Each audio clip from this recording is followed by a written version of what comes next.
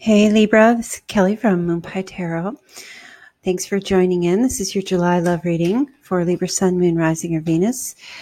Some of the messages may resonate for you. This might be your reading for the month. Some may may not. Um, just try to listen with an open mind and see what messages come out. Take what you can, leave the rest. Um, and of course, if you would like to get a personal reading, uh, all of the links are below in the description box. And you can also join me in my live streams to get um, questions answered as well. Okay. Also, for those of you who are Android users, you can now reach me on the Instant Go app. Just download it from your Google Play Store. Okay, so I did shuffle the cards. I did pull out and lay the spread already. Um, I am going to pull some clarifiers for your reading for July. Remember, this is a romance love reading. It can also, though, cover areas of family, friends, and so forth. Okay, so let's take a look and see what the love message is for you, Libra.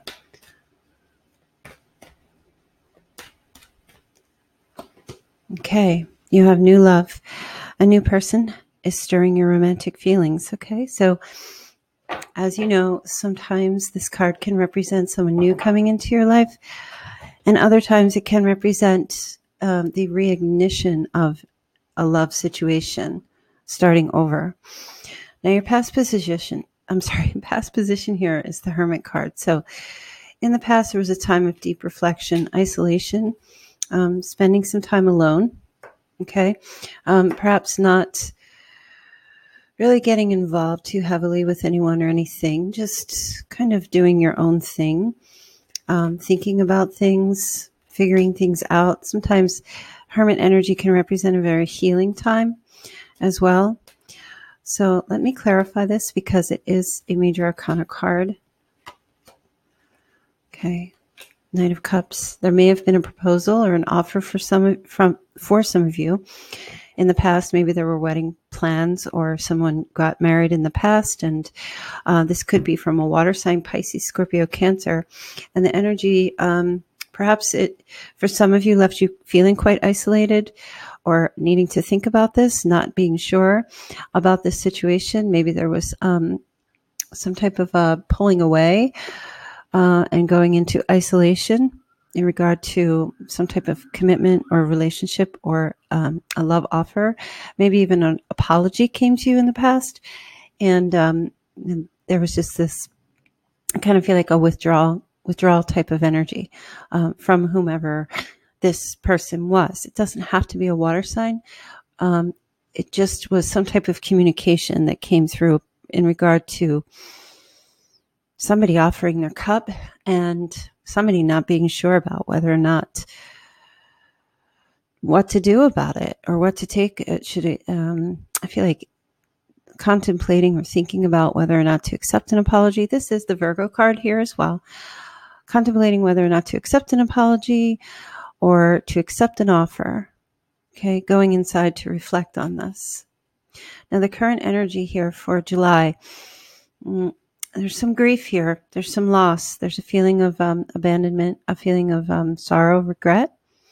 Okay, so um, it's challenged by the uh, Five of Swords. Somebody here had to uh, stand up for themselves.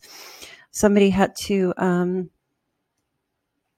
either had to defend themselves or stand up for themselves, or there could be an energy of um, Five of Swords does represent someone who's just slaying a situation and not thinking about the feelings of other people. Maybe that happened to you. Maybe this is something you're doing. Um, whether it is or not, it's just an energy that's surrounding the month of April, at least starting. Okay. There's a loss. Uh, there may have been like an abusive situation or um, somebody is, was very cocky and bold in uh, communication. Okay and it left a feeling of regret, sorrow. Uh, there's a grieving that could be happening at this time. Okay. Some of you may not have received an apology that you wanted also in the past and were thinking or hoping it didn't get closure from something from the past as well. Okay. So the energy that's driving this reading here is the higher Hierophant. So this is talking about doing the right thing. This is talking about having um, standing, standing, sticking with morals, um, staying with traditional roles, having um, a spiritual outlook, maybe seeking help, um, getting some spiritual counseling of some sort. The Hierophant energy is Taurus. Okay, let's clarify that because that is a major arcana. And both of these are five cards. So I do feel like there is getting some spiritual counsel or talking with someone in regard to this situation here, in regard to some type of um, possible argument or someone who was trying to strong arm. Again, could have been you, could have been another person. Okay, Four of Swords, getting some healing. Mm-hmm. Taking a time out, taking a rest in the month of July meditate, uh, going into um, meditative state. Um, some going back to church, going back into their religion or getting into um, their spirituality again. Some seeing a psychiatrist um, or some type of therapy or counseling. Okay, this is what is this is driving. This is the root of the reading. So this seems to be um, the undertone for the month of July. Needing to take a break, withdraw, uh, get some spiritual enlightenment, talk to somebody um, who can bring healing to a situation. Okay. What's crowning is the Queen of Queen of Swords. That's your energy, Libra. Um, I feel like you really want to communicate something to somebody. You you have something that you would like to say and uh, you're receptive to communication to and fro. Um, but I feel like this weighs heavily on your he- on your mind in the month of Le- in the month of um, July. Uh, the Queen of Swords can be quite direct in what she wants to say, and she does not stay in an energy of um, fluff. I'm just I'm looking at these clouds and I just feel like fluff.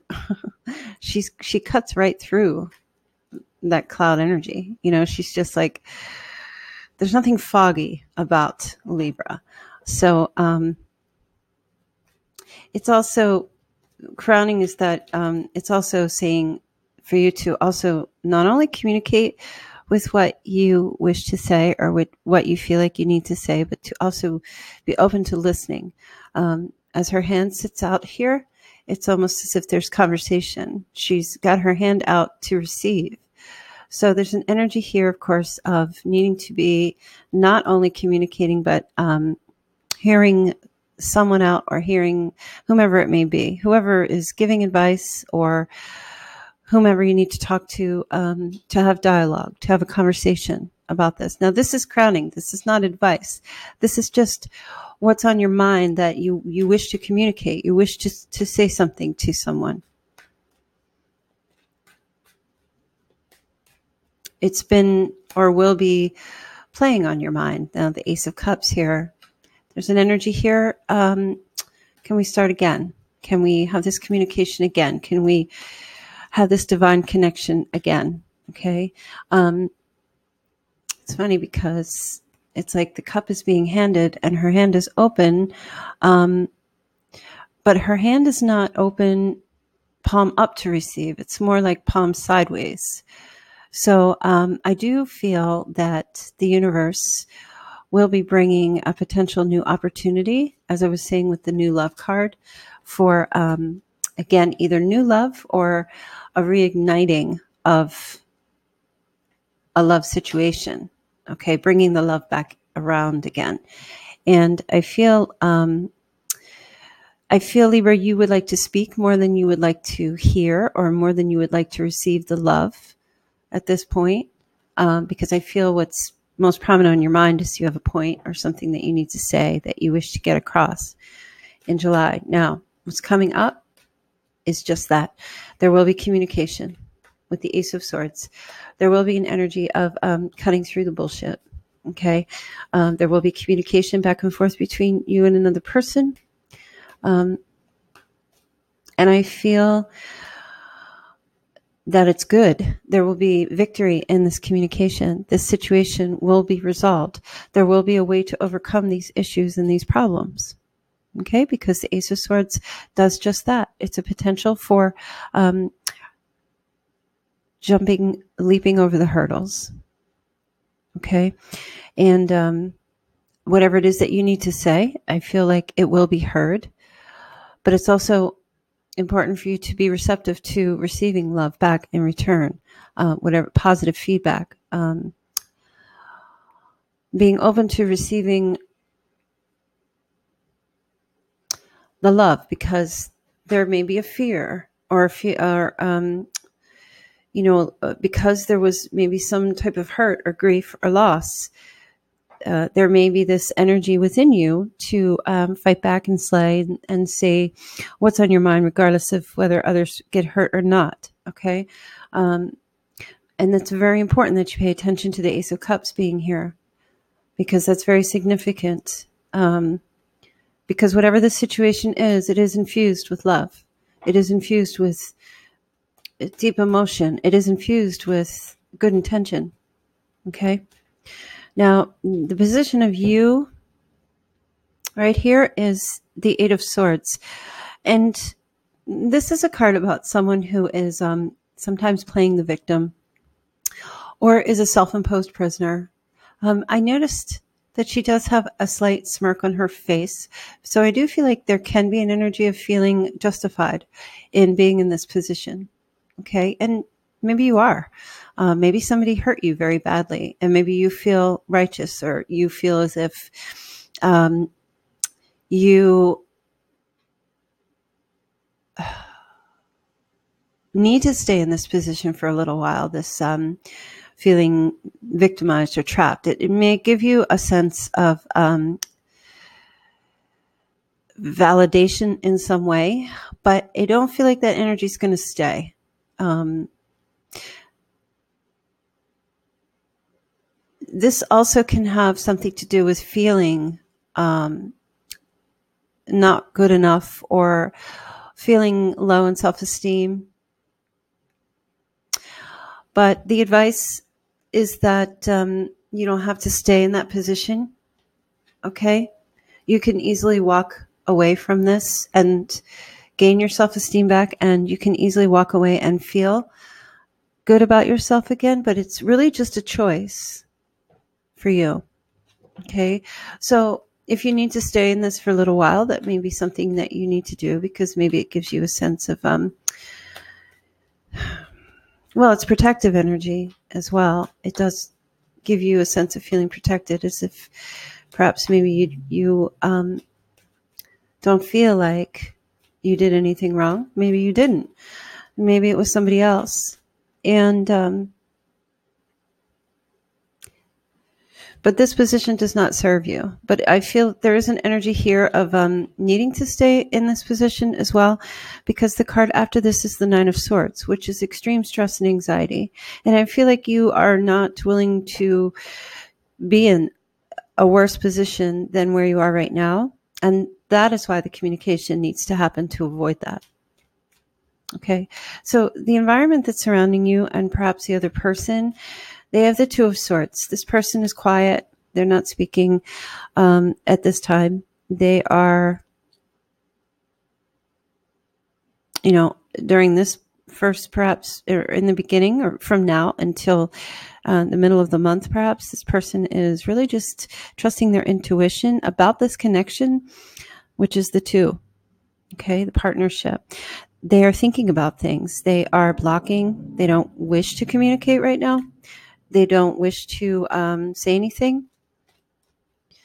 They're not sure what to do. Um, they are taking advice from others to try to figure out how to um, heal the situation.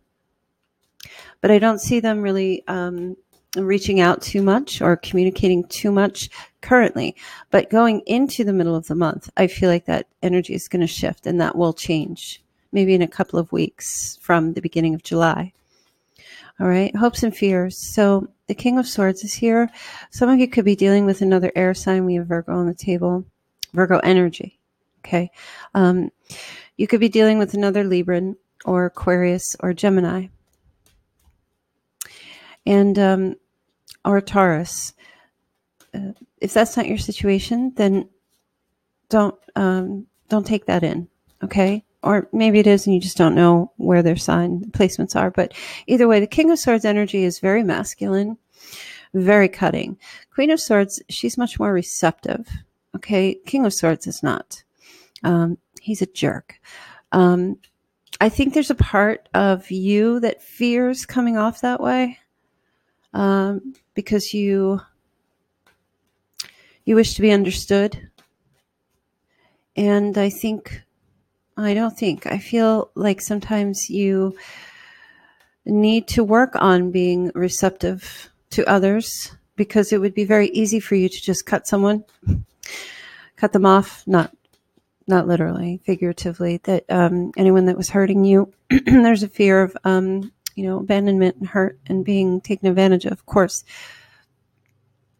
I think there's uh, you're a little conflicted in some way because there's parts of you that feel like you need to be this way as the King of Swords, but there's other parts of you that maybe it's a quality about yourself that you struggle with. Okay. Because you can be very truthful and um, be right and straight to the point. And um, so I feel this has more to do with yourself um, when you're in your masculine energy. Okay. Um, there may be an energy of um, vacillating between the two at different times. Okay.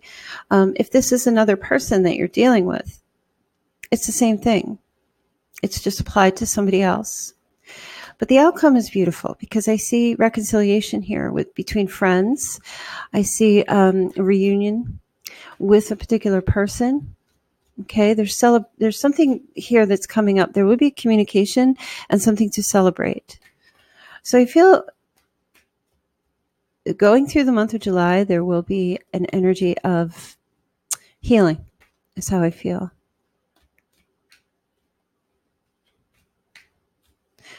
Now, as far as like somebody new coming in, if this isn't the same person you've been dealing with, uh,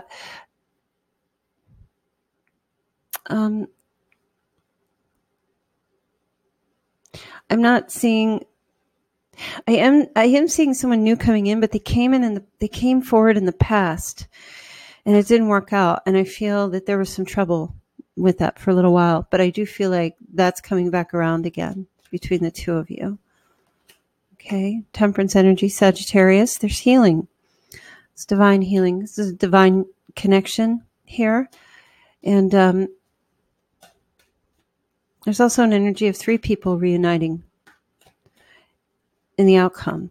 Temperance is to me, um, you know, very blessed. She has her two cups, which represents the two of cups. She is um, behind the scenes. It's Archangel Michael making everything well again, mixing up the elixir of love, the love potion, so that everyone can share and enjoy once again. Okay. Or just you and another person. So it's, it's a very beautiful reading. Let me see what your love oracle angel message is here before we finish. And I am praying that this reading will upload and the sound will be good quality. Okay, please, Spirit, give me angel. Love oracle message. These cards are awfully hard to shuffle. So, oh. surrender. At times, we must surrender the old before something new can enter our lives. Let go, and all will work out. So it's a very beautiful reading for you, Libra. Um, I hope that you enjoyed this. And again, if you would like to get a personal reading, just go to the description box below. All the information is there. and please do, um, if you have Android, download the Instant Go app from your Google Play Store, and you can get personal readings through the app from me within 24 hour turnaround time, depending on my uh, how booked up I am. It's it's a, it's an ebb and flow thing. So best wishes to you in July, Libra, and I will see you very soon. Take care.